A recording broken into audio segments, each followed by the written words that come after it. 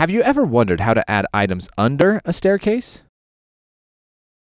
In this training, you will learn to add line items to rooms below stairs using graphical estimation in Sketch. Every staircase in Xactimate has two sets of variables, one for the room above the stairs and one for the room below.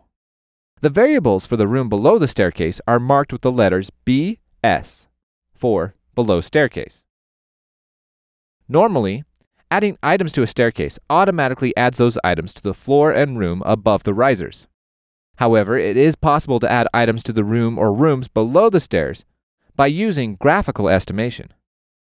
To do this, click on the View menu button and then select Room Below Stairs.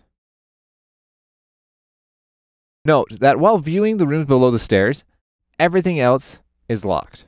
You can only add items to the room below the stairs and not the rest of the sketch.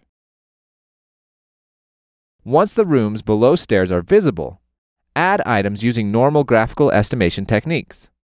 For example, search for half-inch drywall and click the item to load it on the cursor. Where the mouse is positioned over the room affects the calculation. When the entire room is highlighted green, the calculation is walls and ceilings. If you move the mouse closer to the walls, the room will be outlined and the calculation will change to walls. If you move the cursor even closer to a single wall, it will select just that one wall. Click to add the item. To continue estimating the rest of the sketch, click on the View menu button again and turn off Room Below Stairs. And that unlocks the rest of the sketch.